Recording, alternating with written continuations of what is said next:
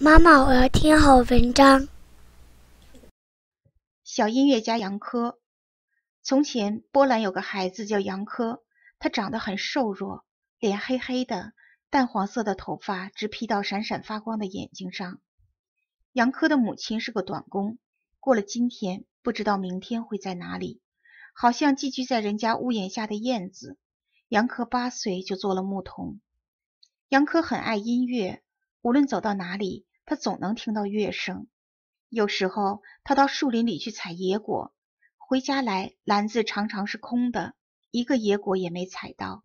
他说：“妈妈，森林里在奏乐呢，哦咦哦咦。”田野里，小虫为他演奏；果园里，麻雀为他歌唱。凡是乡村里能听到的一切响声，他都注意听着。他觉得都是音乐。堆草料的时候。他听到风吹得他的木叉呜呜作响。有一次，他正听得出神，被监工看见了。监工解下腰带，狠狠地打了他一顿，要他永远也忘不了。大伙儿管他叫小音乐家杨科。春天来了，他常常跑到小河边去做笛子。傍晚，青蛙呱呱地叫起来，啄木鸟笃笃地啄着树干，甲虫嗡嗡地叫。杨科躺在河边，静静地听着。村上的更夫常常看见杨科悄悄地躲在乡村旅店的墙角下静听。旅店里有人在跳舞，有时候传出脚踏地板的声音，有时候传出少女歌唱的声音。小提琴奏出轻快柔和的乐曲，大提琴用低沉的调子和着。窗户里灯光闪耀，杨科觉得旅店里的每一根柱子都在颤动，都在歌唱，都在演奏。小提琴的声音多么美妙呀！要是能有一把小提琴，杨科真愿意用自己的一切去交换。只要让他摸一摸，哪怕只摸一下，他也够满意的了。杨科用树皮和马鬃自己做了一把小提琴，但是怎么拉也不像旅店里的小提琴那样好听。它声音小，太小，就像蚊子哼哼似的。可是他还一天到晚拉着。地主的仆人有一把小提琴，他常常在黄昏的时候拉。杨科多么想仔细的看看那把小提琴呀！他悄悄地从草堆边爬过去，爬到石具间门前，门开着，小提琴挂在正对着门的墙上。杨科很想把它拿在手里，哪怕一次也好，至少可以让他瞧个清楚。一天傍晚，石具间里一个人也没有。杨科躲在草堆后面，眼巴巴地透过开着的门，望着挂在墙上的小提琴。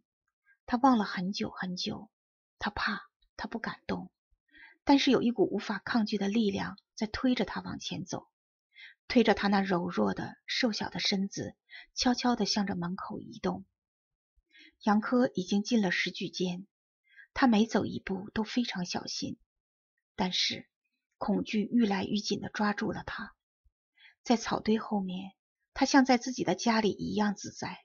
可是在这儿，他觉得自己好像是闯进了笼子的小动物。夜静得可怕，月光偏偏照在杨科身上。杨科跪在小提琴前面，抬起头望着心爱的小提琴。过了一会儿，黑暗里发出了一下轻微的凄惨的响声。杨科不小心触动了琴弦。忽然，屋角里有个睡得迷迷糊糊的声音在粗鲁地问：“谁在那儿？”杨科憋着气。有人划了根火柴，蜡烛亮了。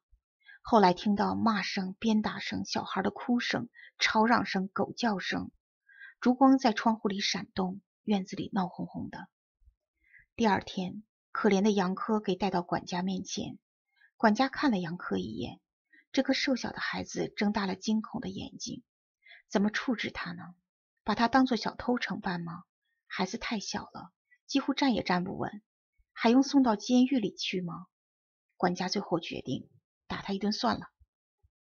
管家把更夫找来，对他说：“带他去打他一顿。”更夫点了点头，夹起杨科，像夹一只小猫似的，把他带到一个小木棚里。孩子一句话也没有说，他也许是吓坏了，只是瞪着眼睛。像一只被抓住的小鸟，他哪里知道人家要把他怎么样呢？杨科挨了一顿打，他母亲来了，把他抱回家去。第二天他没有起床，第三天傍晚他快要死了。